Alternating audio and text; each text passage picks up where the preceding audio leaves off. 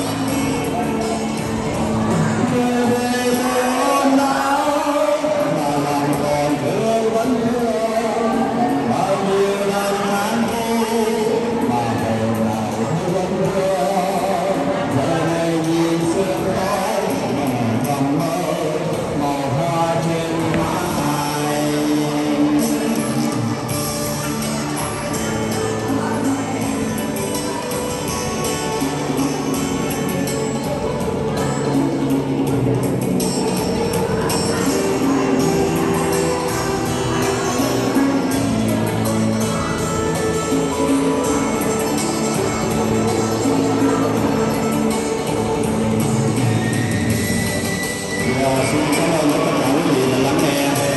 à, em lên sơ đã lắng cái những phiên bản đã là cái cô nhưng mà mỗi lần có tiếng